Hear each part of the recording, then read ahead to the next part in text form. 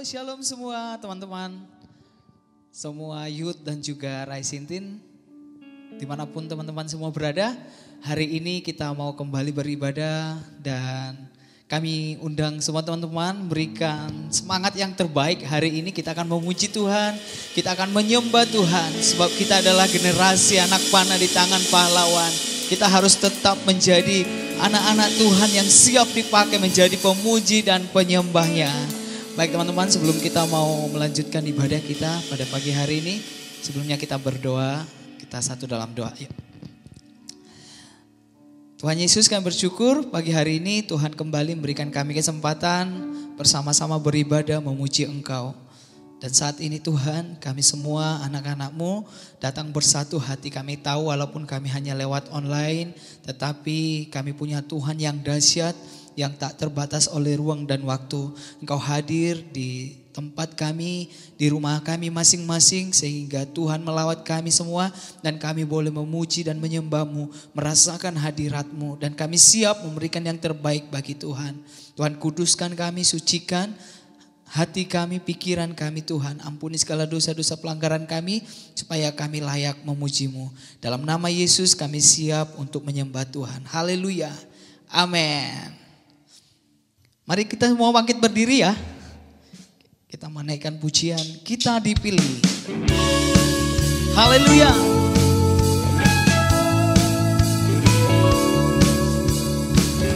Kami anak-anak yang dipilih dan dikuduskan oleh Tuhan. Haleluya.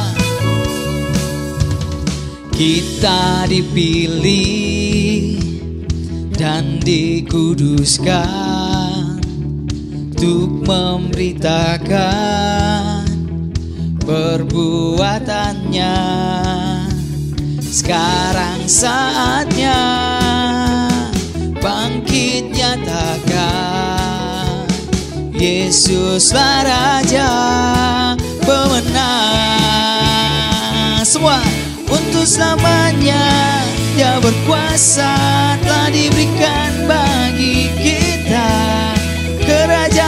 yang tak akan tergoncangkan.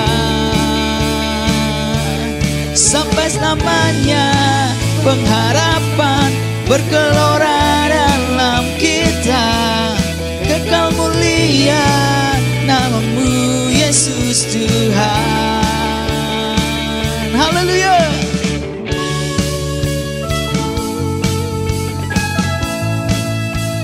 Sebab untuk selamanya dia berkuasa. Berkuasa atas hidup kami. Haleluya. Kita berdiri Dengan kuasa. Sebab roh yang dahsyat Bersama kita. Sekarang saatnya bangkit nyatakan Yesuslah Raja pemenang semua. Untuk selamanya dia berkuasa telah diberikan bagi kita. Kerajaan yang tak akan terguncangkan. Sampai selamanya sampai selamanya pengharapan bergelora dalam kita. Kekal mulia namamu Yesus Tuhan. Haleluya. Boleh semua bertepuk tangan bagi Tuhan. Haleluya. Uh.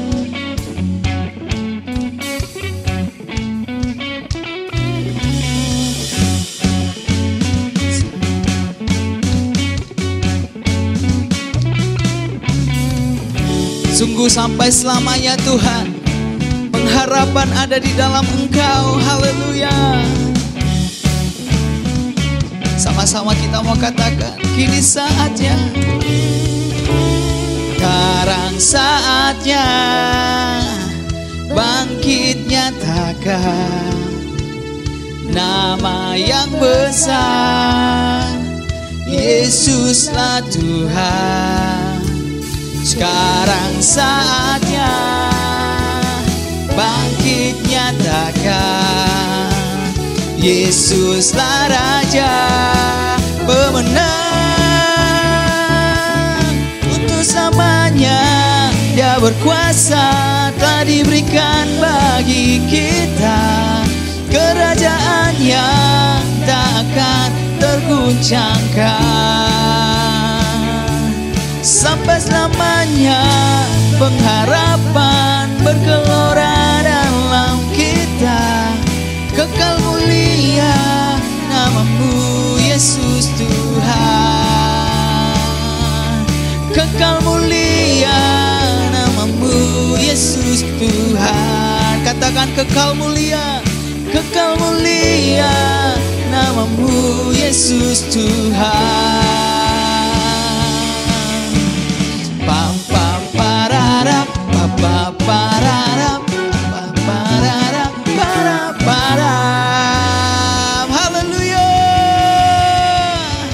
berikan tepuk tangan yang luar biasa bagi Allah kita.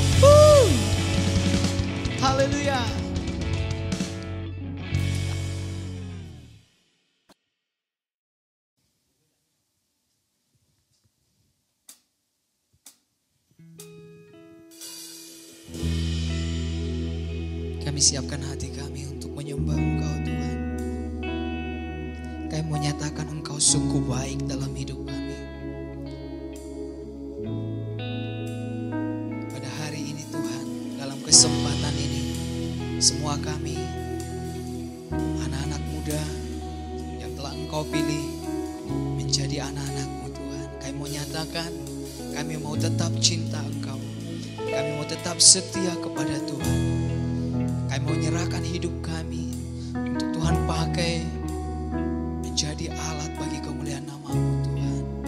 Terima kasih Bapak.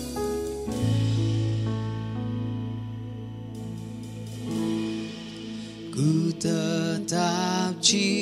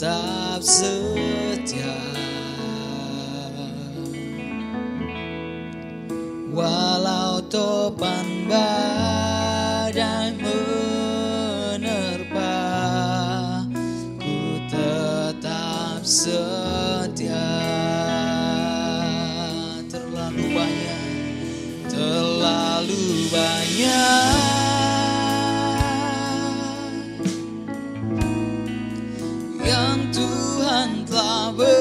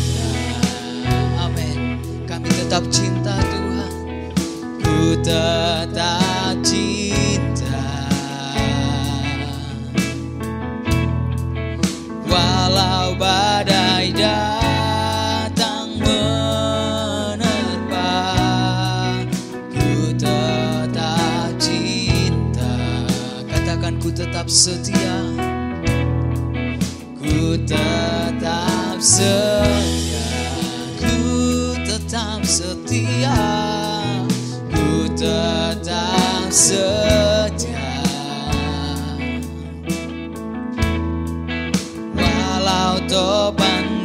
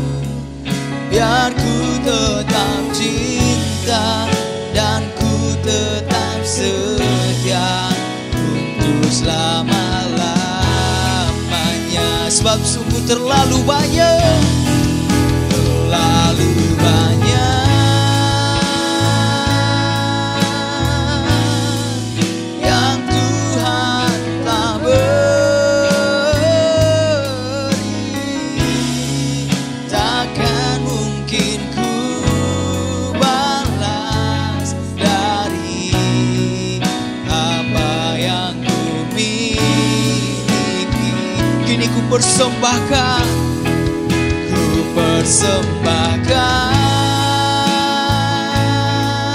Seluruh hidupku Seluruh hidupku.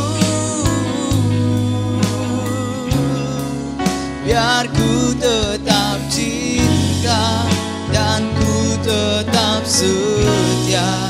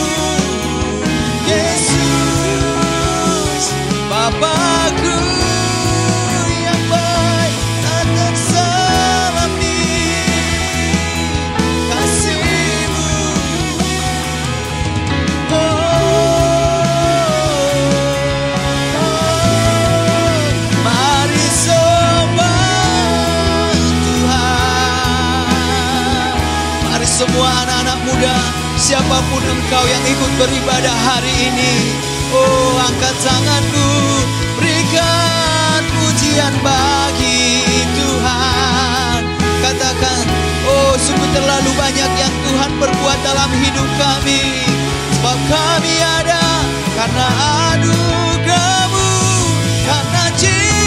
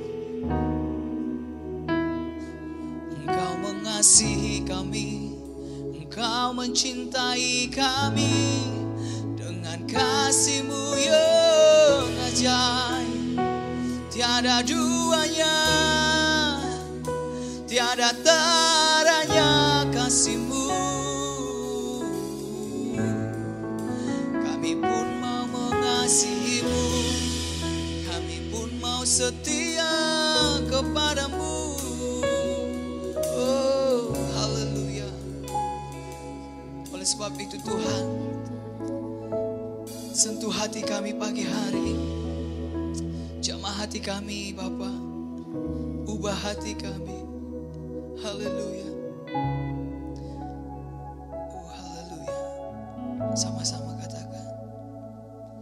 Bapa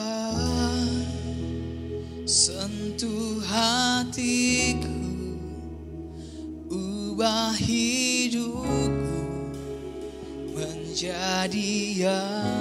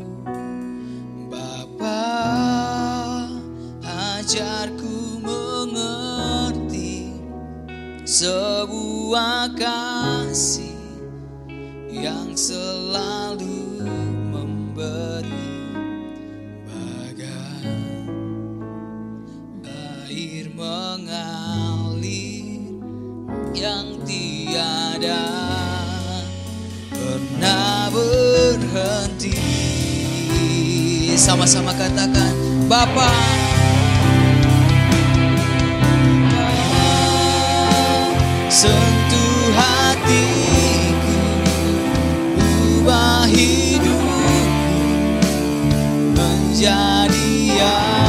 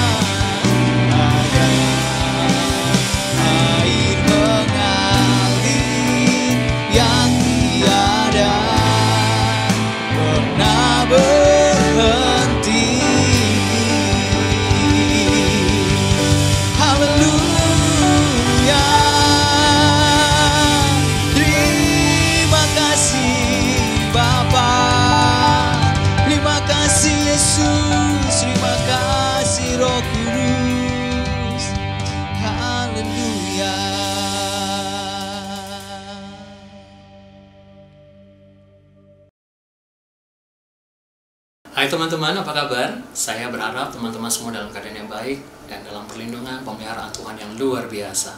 Hari ini kita akan belajar kebenaran firman Tuhan, tapi sebelum kita mendengarkan kebenaran firman Tuhan, kita sama-sama berdoa. Bapak kami di surga, kami mengucap syukur untuk kasih setiamu dalam kehidupan kami. Kami mengucap syukur untuk penyertaanmu yang luar biasa bagi setiap kami. Sebentar kami akan mendengarkan kebenaran firman-Mu, Engkau sendiri Tuhan yang mengurapi setiap kami. Untuk kami tidak hanya mendengarkan kebenaran firman-Mu Tapi kami benar-benar melakukannya Tuhan. Kami menjadi pelaku-pelaku firman-Mu Kami mempraktikkan kebenaran firman-Mu dalam kehidupan kami. Terima kasih Tuhan. Kau juga mengurapi hamba-Mu. Di dalam nama Yesus kami berdoa Kami mengucap syukur. Amin. Teman-teman hari ini kita akan belajar kebenaran firman Tuhan tentang Membangun karakter yang teguh dan tangguh. Hari ini kita akan belajar kebenaran firman Tuhan tentang membangun karakter yang teguh dan tangguh. Dalam Kamus Besar Bahasa Indonesia, karakter itu adalah kualitas mental dan moral seseorang yang mempengaruhi pikiran dan perilakunya sebagai seorang individu. Karakter adalah kualitas mental dan moral seseorang yang mempengaruhi pikiran dan perilakunya sebagai seorang individu. Karakter itu ciri khas ya yang menggambarkan siapa diri kita yang tercermin dari tindakan ucapan kita, dari apa yang kita omongkan, dari apa yang kita lakukan atau perbuat, itu orang lain lihat. Itu adalah diri kita sesungguhnya, karakter kita. Dan harus kita ingat, kalau Tuhan itu lebih tertarik pada karakter daripada talenta kita. Mungkin kita punya talenta yang banyak, tapi Tuhan tidak lihat itu. Tuhan lebih tertarik pada karakter kita daripada talenta kita. Kenapa? Karena talenta itu anugerah. Pemberian dari Tuhan untuk kita. Sementara karakter menggambarkan nilai dan prinsip yang kita yakini dan hidupi. Karakter menggambarkan nilai dan prinsip yang kita yakini dan hidupi. Karakter itu menggambarkan siapa diri kita. Ya. Karakter kita menggambarkan siapa diri kita sebenarnya dan siapa yang kita gambarkan. Kejadian 1 ayat 26 mengatakan, Berfirmanlah Allah, baiklah kita menjadikan manusia menurut gambar dan rupa kita, supaya mereka berkuasa atas ikan-ikan di laut, dan burung-burung di udara, dan atas ternak, dan atas seluruh bumi, dan atas segala binatang melata yang merayap di bumi. Teman-teman, manusia itu diciptakan serupa dan segambar dengan Tuhan. Manusia diciptakan untuk menggambarkan dan memiliki karakternya Tuhan. Dan di mata Tuhan, gambar diri dan karakter itu yang harus lebih dulu dibentuk, ya. Banyak orang yang lupa untuk membangun gambar diri dan karakter yang benar sesuai kebenaran firman Tuhan. Padahal karakter adalah pondasi, landasan atau dasar dari kehidupan. Seringkali kita lupa, kita lebih memperhatikan apa yang kelihatan di luar kita berusaha memoles diri kita agar terlihat atau terkesan baik. Supaya orang lain melihat kita, oh orang ini murah hati, orang ini jujur, orang ini baik. Ya. Ketika ada orang kita baru melakukan hal-hal yang baik supaya dianggap baik. Di media sosial mungkin kita juga melakukan hal itu supaya orang menganggap kita baik. Ya. Itu semua pencitraan. Itu bukan diri kita sebenarnya. Itu bukan karakter kita Karakter itu adalah sesuatu yang kita bangun dari dalam. Bukan sekedar apa yang terlihat di luar. Dan butuh proses untuk bisa membentuk karakter yang baik, benar, dan sesuai kebenaran firman Tuhan, teman-teman. Dan sebagai orang Kristen, kita seharusnya lebih fokus pada membangun karakter daripada image atau pencitraan kita. Ada perbedaan besar antara pencitraan dengan karakter. Pencitraan itu adalah apa yang orang lain pikir tentang diri kita. Sementara karakter adalah diri kita yang sebenarnya. Pencitraan adalah apa yang orang lain pikir tentang diri kita. Sementara karakter adalah diri kita yang sebenarnya. Tiga hal penting tentang karakter yang harus kita ketahui. Yang pertama, karakter itu lebih dari sekadar ucapan Yakobus 2 ayat 18 mengatakan, "Tetapi mungkin ada orang berkata, padamu ada iman dan padaku ada perbuatan."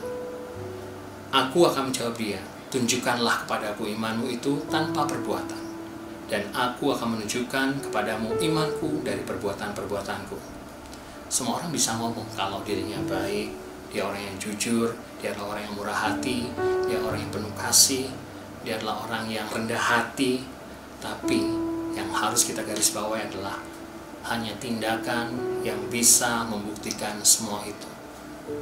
Kita bisa ngomong bahwa kita adalah orang yang sangat-sangat baik, tapi kalau tindakan kita tidak bisa membuktikan semua itu, sekali lagi semuanya sia-sia.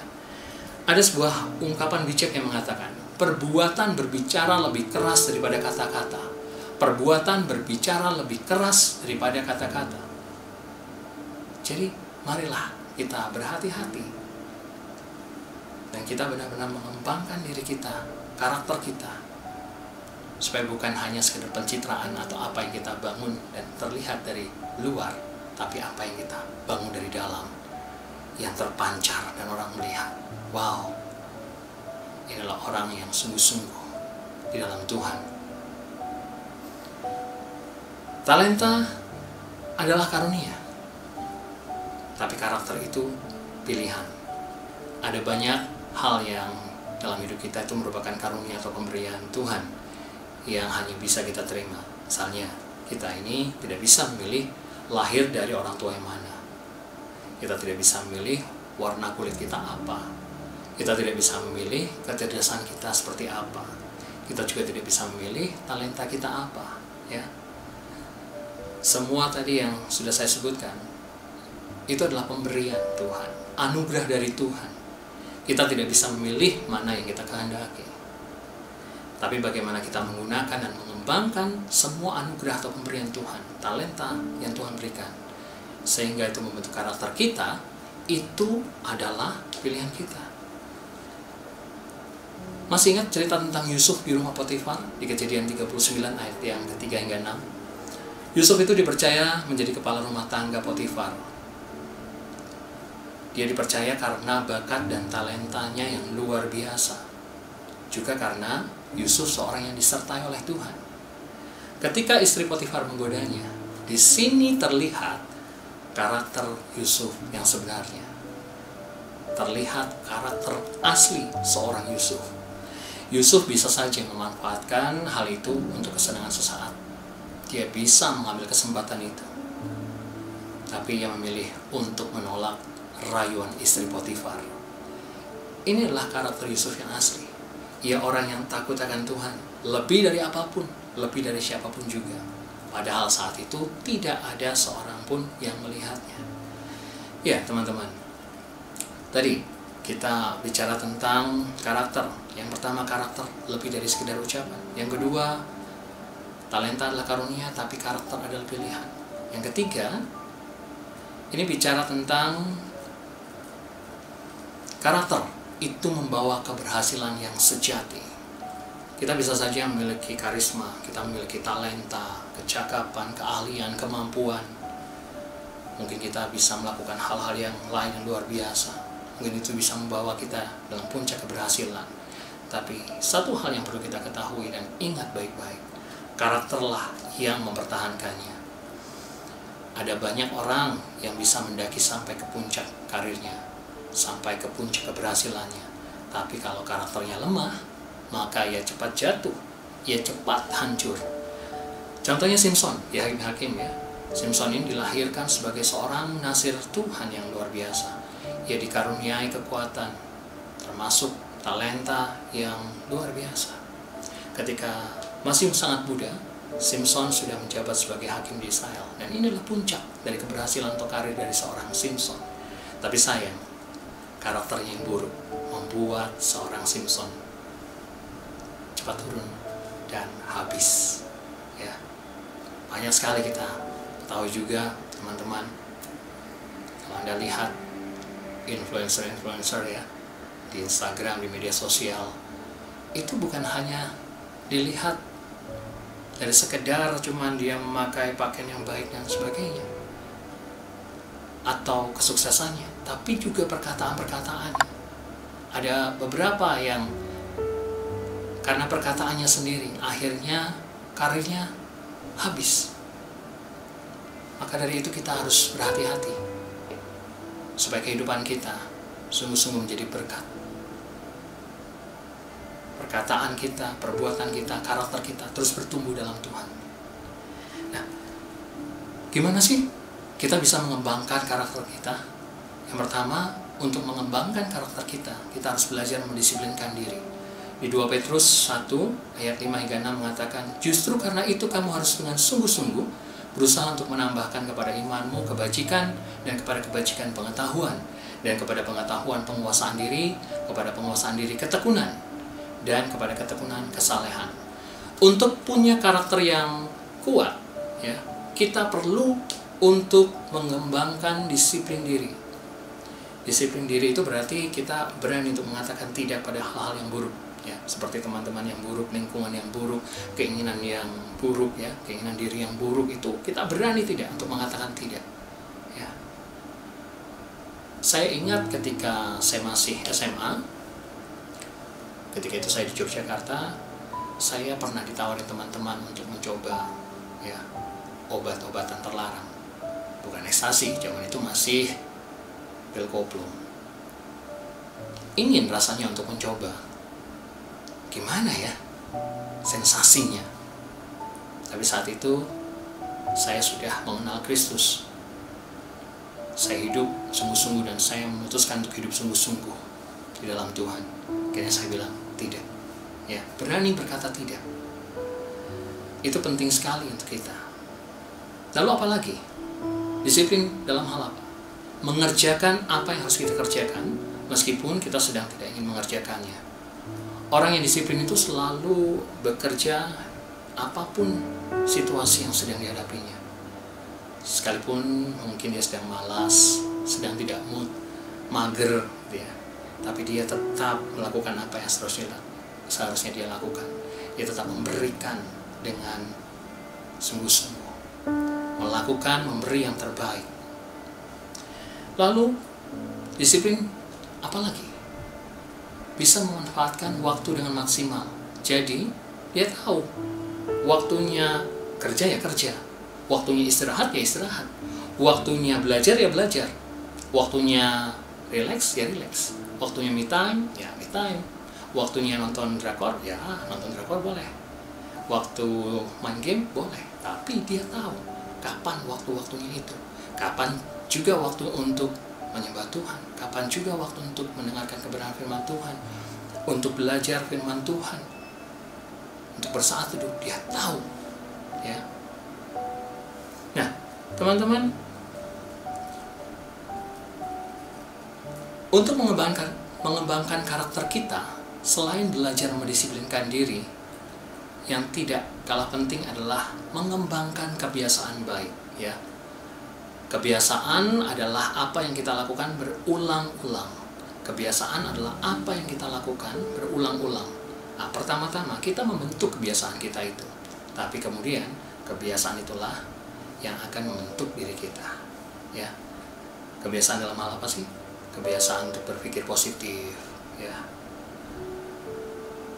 Kadangkala kita ini lupa atau sering lupa untuk berpikir positif.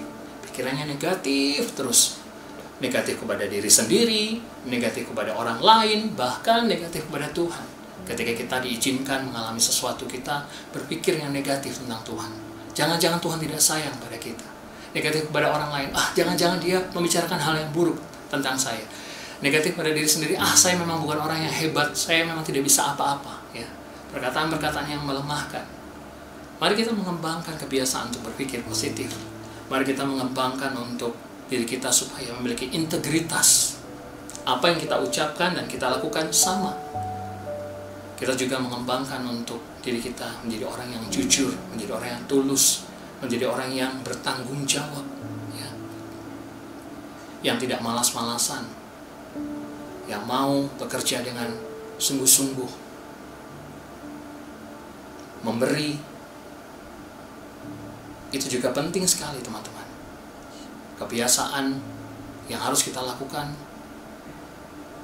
adalah salah satunya memberi. Kalau kita mengasihi orang lain, kita akan memberikan sesuatu. Lalu kebiasaan apa lagi? Kebiasaan berdoa. Dan masih banyak lagi kebiasaan-kebiasaan lain yang harus kita kembangkan. Yang ketiga, mengembangkan sikap melakukan yang terbaik. Do your best. Pengkhotbah 9 ayat 10 mengatakan, Segala sesuatu yang dijumpai tanganmu untuk dikerjakan, kerjakanlah itu sekuat tenaga. Karena tak ada pekerjaan, pertimbangan, pengetahuan, dan hikmat dalam dunia orang mati, ke mana engkau akan pergi. Orang yang memiliki karakter yang kuat adalah orang yang selalu melakukan segala sesuatu dengan sebaik-baiknya. Dia mau memberikan dan melakukan yang terbaik. Dia mau memberi dan melakukan yang terbaik sebab dia tahu dia pantas untuk melakukan dan memberikan yang terbaik. Mari teman-teman, kita sama-sama belajar untuk kita mengembangkan karakter kita menjadi seorang yang benar-benar bertumbuh dalam Kristus. Biarlah setiap kita berkurang dan Tuhan semakin bertambah-tambah dalam kehidupan kita. Kita semakin bertumbuh dalam karakter kita agar nama Tuhan semakin dipermuliakan, bukan dipermalukan melalui kehidupan kita. Tuhan Yesus memberkati. Teman-teman, mari kita sama-sama berdoa. Bapak kami mengucap syukur untuk kebenaran firman-Mu. Terima kasih Tuhan. Kami tidak hanya ingin menjadi pendengar-pendengar-Mu, tapi kami mau melakukan, mempraktikkan kebenaran firman-Mu dalam kehidupan kami. Engkau yang memberikan kekuatan, sukacita, damai, sejahtera juga buat teman-teman semuanya Tuhan di mana pun berada. Engkau yang melindungi, menjaga kehidupan mereka, dan menjadikan mereka orang-orang yang militan, orang-orang yang memiliki karakter Kristus. Terima kasih Yesus, di dalam namamu kami mengucap syukur. Amin. Teman-teman, mari selalu hidup dalam kebenaran firman Tuhan dan jadilah berkat. Tuhan Yesus memberkati.